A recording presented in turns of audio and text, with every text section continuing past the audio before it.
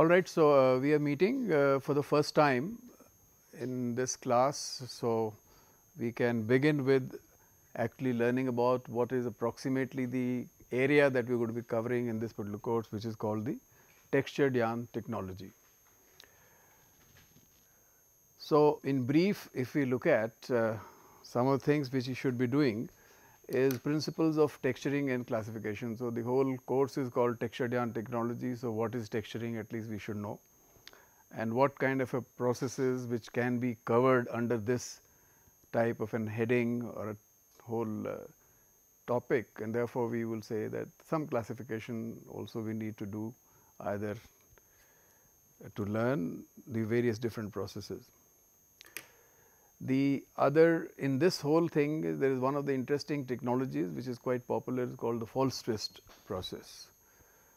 And uh, what it means obviously is that uh, you actually twist, but finally there is no twist and therefore, uh, it is called false twist. So, this is one process that we would like to talk about. We will talk about mechanisms related to this texturing in this process and properties structure property correlation, process parameters and so on and so forth. Within this uh, category you also have a draw texturing process where the filaments which are supposed to be textured are not fully drawn and so they are in a way undrawn or partially oriented yarns and so uh, what to do in such cases is what we call as the draw texturing the need, the fundamental aspects of this are going to be quite important as far as the learning component is concerned. The next in this line is uh, friction texturing where friction is a very important component in the whole process for twisting purposes. You can twist by many methods, but this has become a popular technology and so why the friction texturing was needed, what developments have taken place within this and also the mechanics of friction texturing is what we would also be talking about. There will be many other things here also property, correlation, so on and so forth will come into picture, but uh, mainly we will be talking about friction.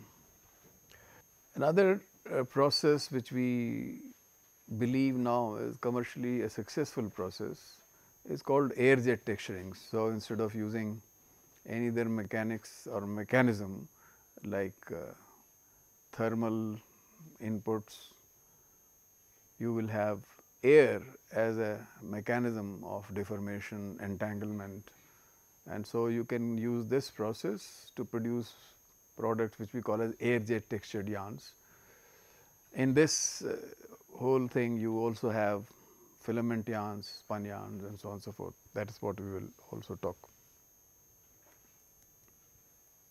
Related to this topic also is a topic which we call as the air interlacement, which is not exactly texturing, but in multifilament processes particularly they started using this as one of the processes because it is an attachment which may be available on various machines and therefore, you may like to learn something about this as well. There is one interesting process which we call as a bulk continuous filament yarn. And this process is interesting in the sense that the speed of the whole process is very high.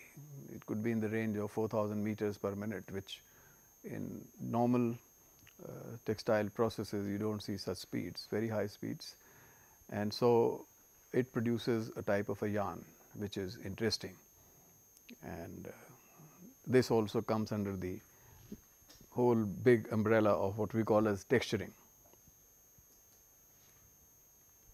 Then there is a category of yarn called high bulk yarns uh, which are used uh, also in daily life particularly in the winters. Uh, you get a lot of knitting yarns woolen or otherwise the synthetic material which we do which looks like woolen yarn is done through the high bulk process and so this also we will learn and we will spend some time also on other methods of texturing which we call as using solvent or any other chemical rather than only a dry heat or air jet which is mechanical. So, this is a course content in brief. So, uh, the introduction to texturing is the lecture that we are doing today. So, we spend some time to understand whatever it means and later on we will develop on these things. So, what do we want to learn in this? The terminology as to when we say texturing whatever it means. We may learn the definition of the process itself. Why do we do this? All this what is need, what is the need and that is what we may like to point out the advantages, applications, some of the applications that we have and hopefully we should be able to finish something called a broad classification of textured yarns. From there onwards we will pick up individual processes and work on them. The terminology. Different people at different times have been using different words to refer to the same process called texturizing. So, people have been using this word texturizing. Some people have also been using word like texturization and we are in this course calling it texturing. All of them mean same, the same. So, different people can at different time use this term, but you must not get confused that all these terms are similar terms actually same meaning the same process. People who have been working in this industry uh, sometimes are called throwsters Throwster was a, a person who used to do the spinning of silk yarns. You know. Silk were is the one natural material which is long filament yarns. Before this uh, people all, all other natural fibers are staple short length material, but uh, silk is a long and then when the man made fibers were made synthetic fibers were made. So, you had filament yarns. So, the term sometimes is used as throwsters. Throwsters it may have the spelling of the kind.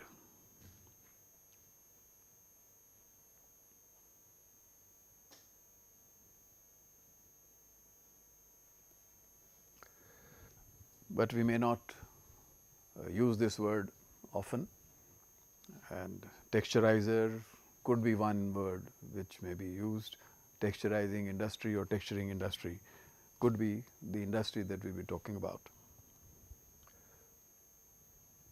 So, if you look at a classical definition when in the beginning when first synthetic fiber actually was made and somebody really wanted to uh, see what exactly is happening. So, they call this is a process texturing is a process. Hmm?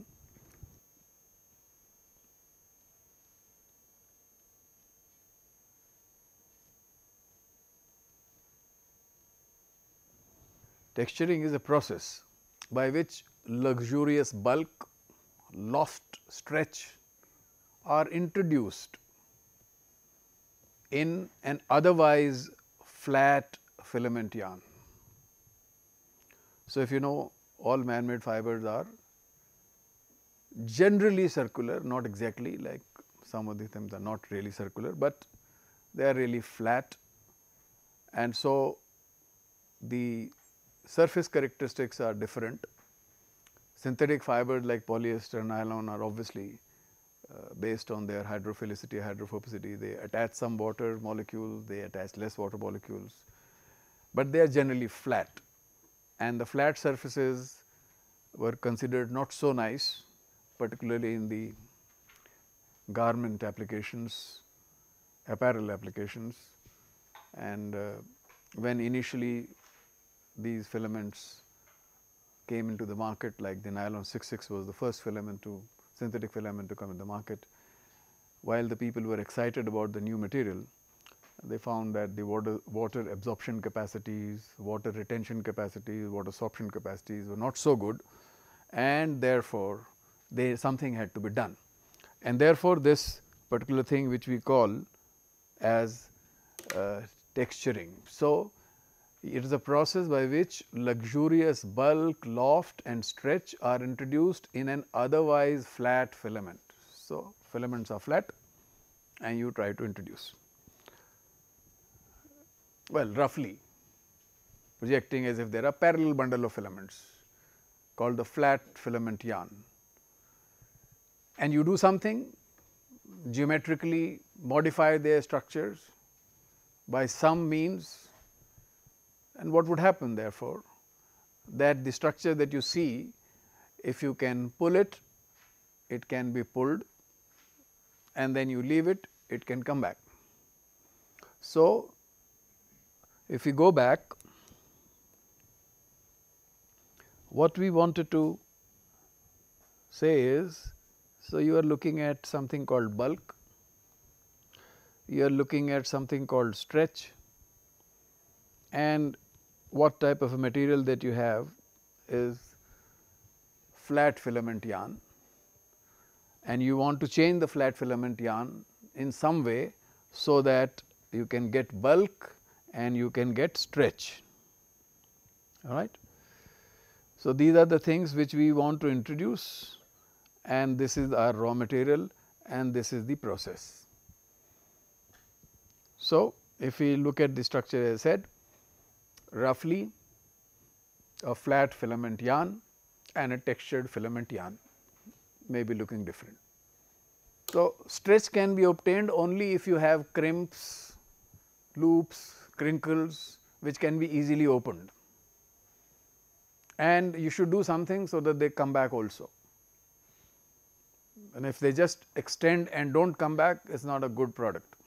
So, this is what somebody thought would be interesting as long as we are able to uh, complete the process. So, what kind of thing can we do? We should be able to, we can do things like this, a filament instead of remaining a straight filament, you can make it give some kind of crimp. You can make structures of this type which are helical in nature and not flat. You may be able to introduce loops of this kind and then if you stretch any one of these they will extend and when they extend you will feel that the material at a very low stress has become very long. You can also have situation where these filaments if there are more they may get entangled. You may like this. There are more filaments. They may get entangled. You may not want them to entangle. You may want it to be entangled. So, one is that there is a flat filament and you want to change its character as a final product. Either by introducing loops or by introducing helical structure or by some kind of crimps all of them are possible and people are using them.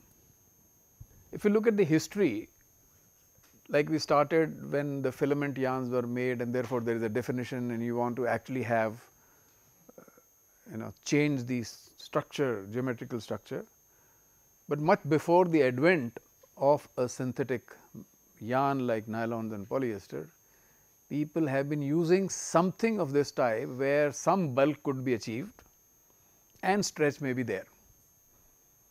And so, the first yarn that we talked about was the yarn which we call as the Lastex. This is in a way a trade name which was also coined at that time which is a rubber cord structure. So, in the center you have rubber all around you have fibers could be wool could be cotton and so they were called sheath core yarns and these yarns are used till today.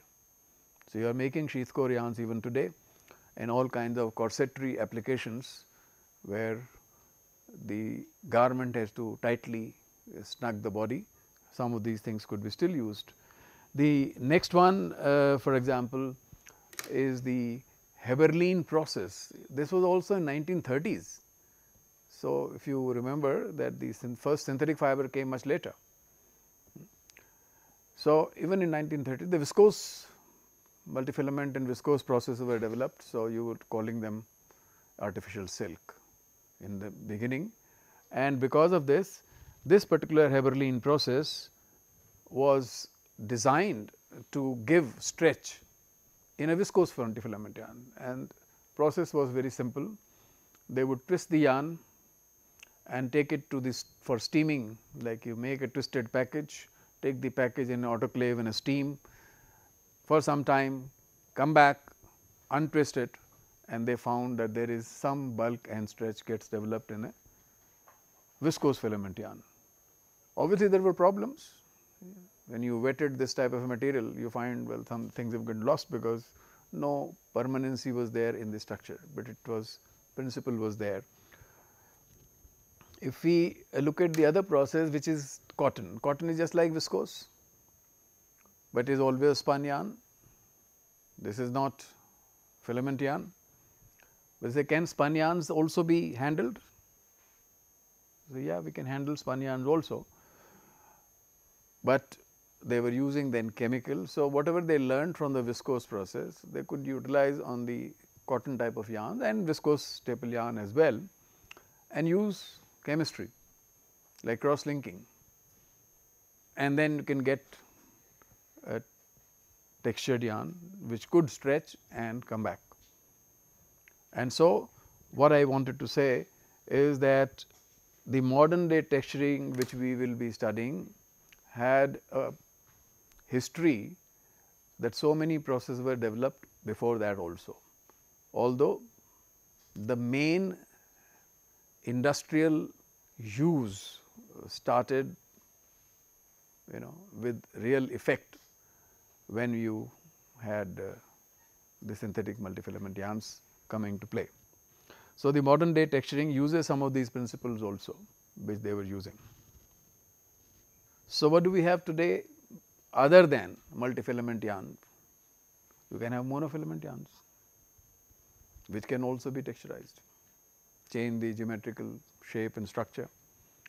You can have spun yarns like the cotton viscose spun yarns, could be polyester spun yarn also. Why would do, why would not do that will be a question that we will talk about later whenever we come to that point. And the moment you say there is spun possibility then obviously there is a possibility of blends also. You can have blended material. That can also be done. And there are some other names that we see uh, the type of fibers called profile fiber. That means they are not circular. They are designed not to be circular. Or hollow fiber that we know. There are some different applications. But what we are looking at a hollow fiber also has more bulk, you know specific volume per unit mass, specific volume per unit mass of a hollow fiber is also large and so you say bulk is high. So, a fiber like this trilobal they are available. When you pack them in any manner they take more space and so they can be bulky and they are called the profile material. So, you have different profile trilobal, pentalobal or you can have these profiles and you can put the hole through it or you may have simple hollow fibers. So, that way people have been working around to keep increasing the specific volume in one way or the other.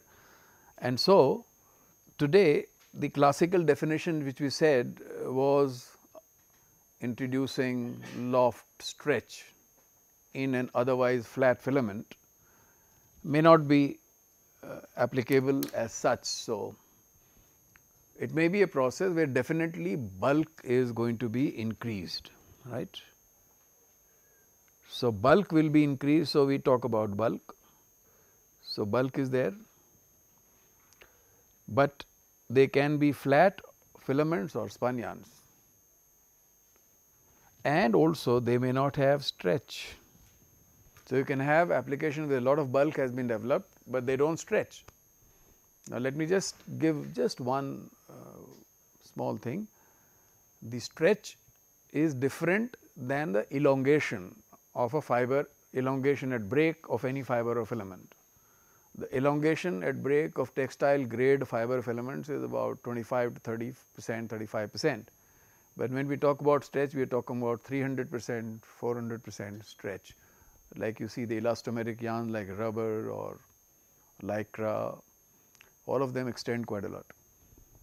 So, we may have requirement of a stretch or we may not and therefore, you may have technology which will not give you any stretch as well. So, uh, why do we do texturing? Partly we understood that we may not like a flat filament and therefore, we want thing because we generally used to spun yarn before that whose surface is not so smooth, they always rough surfaces, adsorption capacity of the kind of material that we use are different. And so, people wanted this may be one of the ways in which you could get a material. Let us see the advantages. Higher bulk. So, like we have seen, so you have crimps, loops together. So, the overall space that they occupy is going to be high and so definitely they will have higher bulk. So, wherever we believe higher bulk is a good idea, you will definitely like to have these type of material and so this is one of the properties that we will definitely see that is part of the definition itself. Greater moisture sorption right and we are not talking about absorption we are talking about sorption all right. Maybe it is on the surface between the interstices wherever there is a space the water can stay there that is the kind of property which uh, rough surfaces may have you know or porous surfaces may have or surfaces where there are capillaries they may have, but flat filaments do not have. And therefore, if we look at that as a part of a thing then the absorption adsorption of the moisture could become very important. Think of a person where is sweating and the sweat is dripping down the whole body, the type of feel that you have versus it gets adsorbed somewhere and does not drip down. So, that is an interesting uh, part. Warmth in the textile thing that we already know is because of the air entrapped. So, thermal conductivity of a fiber has much less to do with the warmth than the air entrapment. And so, when you make structure which are bulky of this type, they obviously they entrap a lot of air. So, you will generally have a warmer feeling. If everything is all right, no, no, we can always argue that if wind is flowing at a very fast speed, then obviously it can penetrate and do the chilling effect also. But if it is cold as such, you may not, you may feel little warm like the way you look at a, any woolen garments. Permeability, yes of course, permeability to moisture if because as you are you know working, talking, doing whatever you are producing moisture and heat. So, this will come out. So, you will feel more comfortable. So, comfort levels always increase when the heat is not retained, moisture is not retained. So, that is that is the microclimate of a garment ensures if these type of material are there, although you feel little warm everything is, but if there is a potential which is higher on the other side it will just pass through because you are better cover. Yeah it would appear from the same mass you are covering more because bulkier thicker type of material and so you would get this as well. Shape retention uh, in many cases as we have said already that if you do some change we want retraction also after extension and that means something you would do to the structure so that it would come back and so shape retention is going to be better which anyway whenever you do heat setting would happen in a synthetic material also. So, particularly material which will have good amount of stretch they can hug the body and if people are interested in type of garments which hug the body, then obviously material which has some stretch is the one which is going to be preferred. whether it is active wear in a sports or otherwise underwear, undergarments and so on and so forth, you socks for that matter, you would like the material to stretch. And come and hold the body contours and, and therefore, uh, you would require. So, in such cases you may require stretch as well. So, your definition does not say that it should not there is the stretch garments are not or stretch yarn is not part of the texturing, it is part, but it is not necessarily it must be there that is the only thing. But if you want such type of material you will have to have uh, stretchability introduced also. This also is uh, an interesting thing because there are ready made garments all the time, ready made systems all the time. Any material which stretches easily and comes back to the position, you know size is called free size. If you have a trouser which is woven, then you have you know 28, 30, 32, 34, 36 sizes everywhere. You got to stock all of them, the lengths also, but things which actually stretch and snugly fit or otherwise attract you say well we do not have to have so many sizes to be stocked for thing. Well this some people may consider advantage, some will say it is hardly an advantage, but does not matter. So, these type of materials are going to provide this also. So, where would you like to use them? If, if you already know that the knitting, knitted garments have more flexibility compared to woven. So, that anyway is there. So, these textured yarns which could be made from any process it could be sheath core type of a process. It could be false as we have described sometimes where you can generate some texture in each filament yarn or you can have a process where entanglement has been done by some air jet texturing mechanisms or nozzles. And so, all of them can be used for knitted uh, garments like your socks for that matter or your blouses for that matter all material which obviously you want them to fit snugly you may want that knitted uh, knitting process be used and you get undergarments, tights, slacks, socks, sportswear, outerwear they will be generally knitted and also would have maybe textured yarns also. So, that is the kind of application which we generally would be looking at. Weaving methods like also are used like shirt you may want uh, that it also is bulky and more comfortable, but it may not be fitting snugly to the body. You want certain shape to be given, you want certain drape to be obtained which is different than a knitted garment. So, you may like to have woven processes as well and when you have woven processes then they do help in quite a lot for that matter.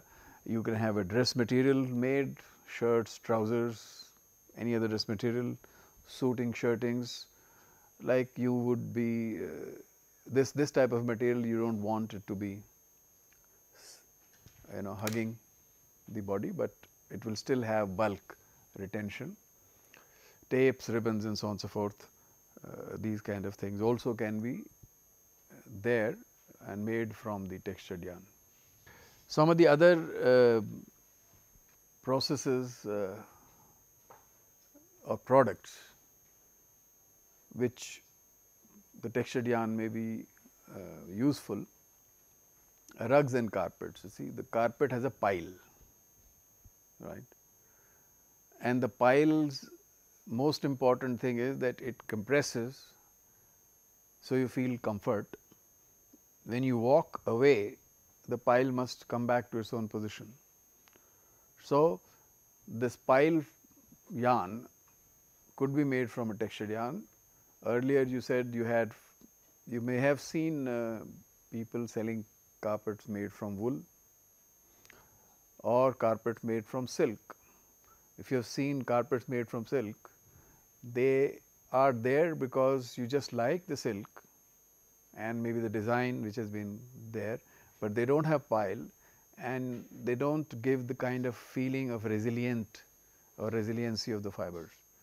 So, if you are looking for resilient fibers, then you would need a pile which can get easily compressed and which can recover from there. So, woolen carpets were there because of the structure the wool fibers had you know you have a natural crimp in the wool fiber and therefore, although we are not looking at a stretch, but it has compressibility which is uh, useful and then it can recover after compression. So, these days you can have nylon carpets for example, they may be made from textured yarn. You may have polypropylene carpets which may be from textured yarn, one can make from polyester as well. So, there is interesting process which we have not studied, but we did talk about in the bulked continuous filament as a one of the methods. Uh, these type of process, this process particularly is good for making pile yarn for rugs and carpets. So, depending upon and it is so it's a very fast process and therefore, is cheaper as well. So, finally, uh, it comes filter fabrics because you can actually create structures uh, which can entrap particles. So, if you have only woven or knitted, so you have a hole very right in front, but if fibers are moving all around, so it gives you resistance to the transfer. So, if, if you are filtering something from one side to the other and if there are particles, dust particles or other things, so, as they move if, if they get they strike something they have a tendency not to pass through, but stay there. And then if you understand the whole uh, filtration process the particles keep attaching to the surfaces and then a cake formation may take place and then the efficiency of filtration also increases, but initially the the particles do strike and if you have structures which in a way give you uh, the obstruction to the direct motion versus you have squares where there is a hole in front. So, there is obstruction the particle can stay. So, various methods can be used textured fabric filter fabrics can also be around. Then we have uh, other special application medical hygiene products, ever dry napkin, shoe uppers you know so, some of the concepts changed as we developed these products. Earlier we always felt what is the garment next to our body? The next to the body the garment is called hydrophilic material generally cotton. But that was because it was able to sob and absorb moisture. But today we do not feel that Today we do not think that is the best idea. The better idea for a comfort is that the moisture does not get absorbed or material which is next to skin does not absorb the moisture, it transmits the moisture. And therefore, hydrophilic material are not necessarily the best material for comfort. You can think of somebody like a marathon runner running for 42 kilometers odd, the kind of moisture that he loses in that period of time from all of the body including the shoes that you wear. And if the shoes were not breathing, you could actually be, you could be running almost in a puddle, so much moisture would get collected. So, these materials transmission of moisture becomes more important rather than absorption. So, the more you transmit the more comfort levels uh, you have. So, some of the products which we were talking about uh, like the ever dry nappies, uh, hygiene products and shoe uppers actually use this type of a principle as well.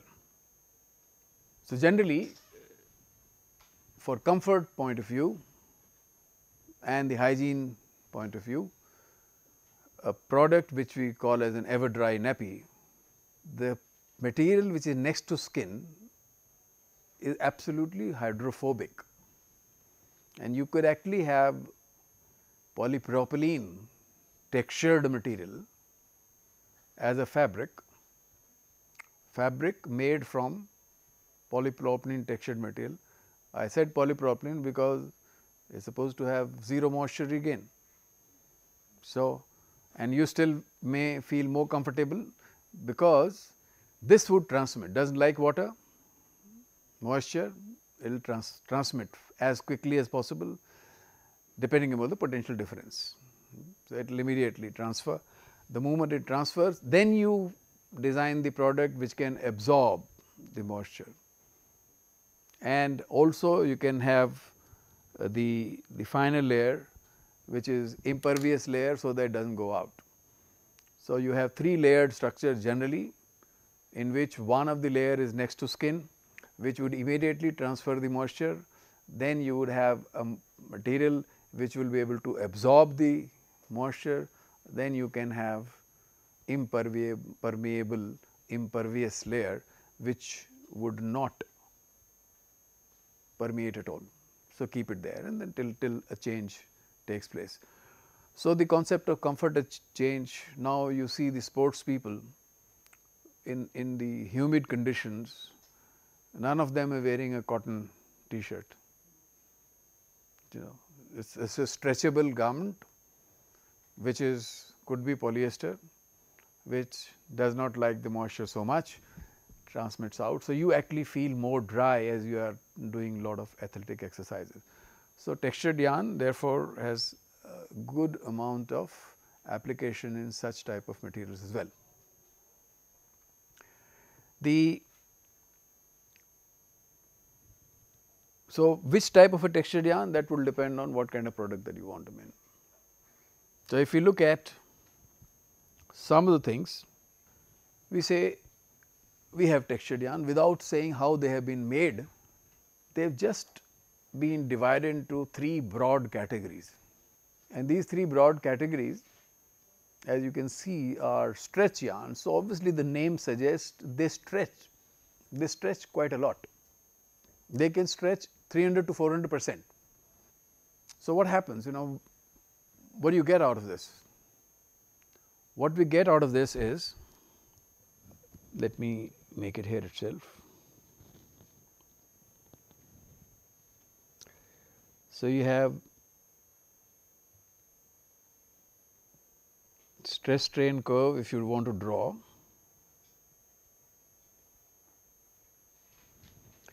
A normal textile fiber may look like this. So, the moment you put any stress it extends, but you see this region where the stress develops right the stress develops here okay the stress develops. But if you look at a stretch yarn and do the same kind of an exercise in that, it may keep extending. My space is gone, but what it means is they will keep extending at what? Very low stress value.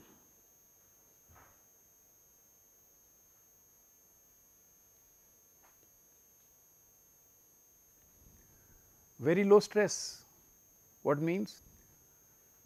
If your normal fiber breaks at something like 3 to 4 grams per denier kind of a tenacity. So, we are talking about 0.1 gram, 0.1 gram if you put as a tenacity grams per denier, it will be extended to 300 percent. 400 percent.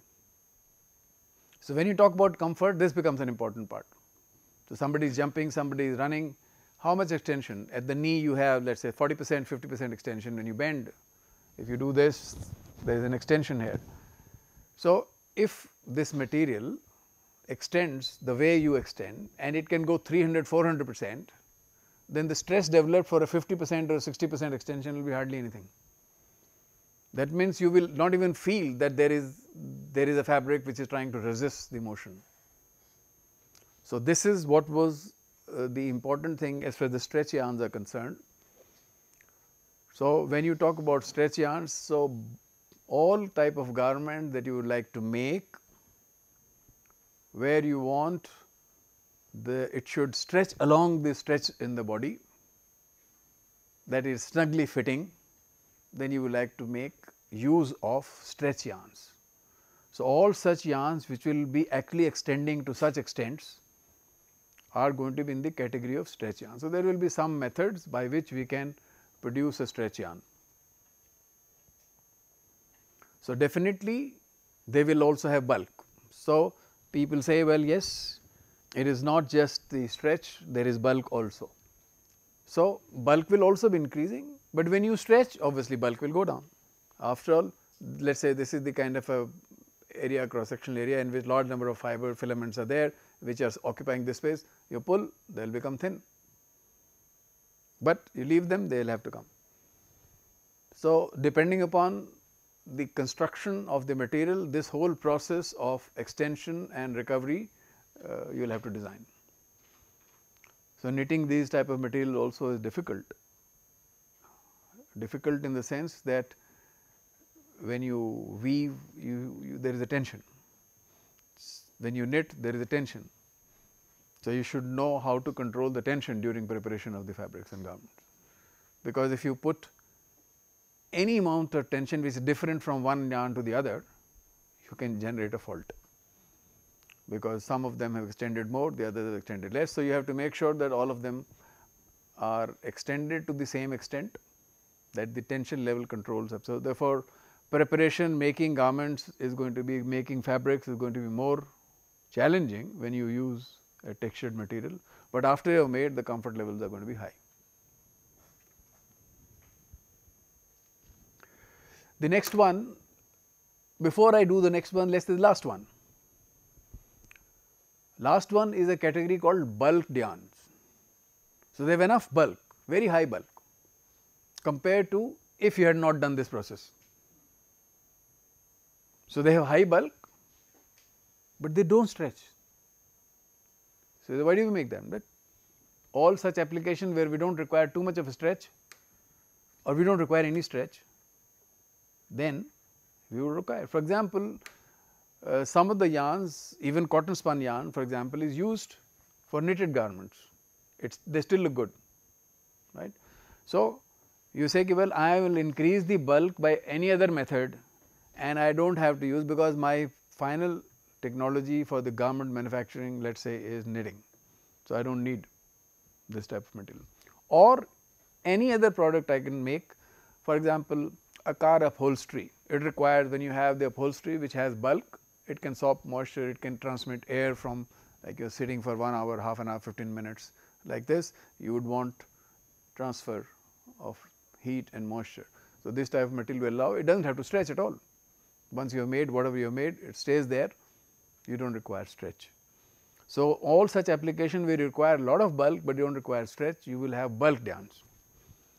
So, if I look at this then the bulk yarn may actually look like this.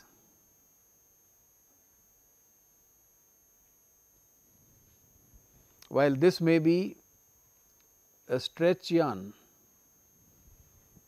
Hmm. Now, so there are applications which do not require any stretch. So, you use such type of processes. Applications require large amount of stretch, you use the stretch yarns. In between there is something which has come we call it a modified stretch yarn. So, the modified stretch yarn obviously has less stretch. So, because the process processes that have been used to produce uh, this type of a yarn actually first makes a stretch yarn and modifies the process later or the yarn later and therefore, and to reduce the stretch. And so, the term the classification has come as a modified stretch yarn, but there is a possibility that you can produce this type of product without first making a stretch yarn and then modifying it. So, you can make a product without doing this process directly some other technology can be used to make a process product which will have less stretch right. Why do we require less stretch? Well, for example, my shirt I do not want every time somebody pulls and I got 300 percent. But I may be interested in bulk. It gives me all those advantages which the bulk material should give, but I do not want stretch. So, such type of an application you may require the bulk which could be high or moderate, but stretch is reduced. How much reduced? If that one is going about 300 to 400 percent, this may be maybe 100 to 150 percent. It may stretch. So, it is not zero stretch, it is a reduced stretch. If we look at that, then maybe the modified stretch yarn also may behave like this, but has less stretch. So, you have all the three types can be represented approximately by a stress strain curve and based on your own requirement you may use any of the technology and make a product and be happy. One thing which I can say roughly any garment that we make out of multifilament yarns, most of them, most of those are from textured yarns. You would not really find a shirt from multifilament yarn which is not been texturized or a knitted product made from multifilament polyester which is flat yarn. So, uh, because the comfort levels that means that this particular technology has become such an important part that all such products will go through this before they are used right. It is just like when you make a synthetic yarn you must draw. If you make a synthetic yarn and use for any product you must heat set, but if you want to have a synthetic yarn and also want to make garments out of it, so you should texturize also. So, texturizing therefore, has become an interesting important technology which must be used to make a useful product. So, we have seen some of the application which could be uh, through the woven route or knitting route, but definitely it is a interesting technology which we will be uh, dwelling upon for more time later. So, what have we learned today? We have learnt that there is some kind of a uh, classification, broad classification. We know the definition uh, of the material. We also uh, know what can come under the umbrella of the thing called textured yarn. All right. So, as far as uh, we are concerned for today, we are done. Next time when we meet, we will pick up all these topics and so uh, all the best. See you.